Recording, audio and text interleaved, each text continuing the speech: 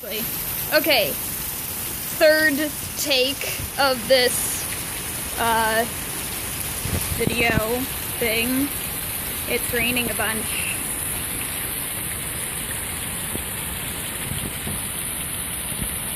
Like a whole bunch, you can kind of see there.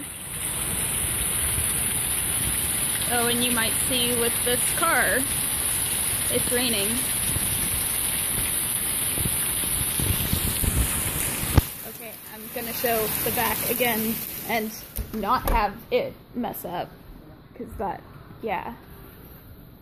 That's just what's gonna happen. Observe the rain in the back, which is somehow less rainy than the rain in the front. That's probably it. The in the in the back it's mostly raining on the grass. Fascinating rain.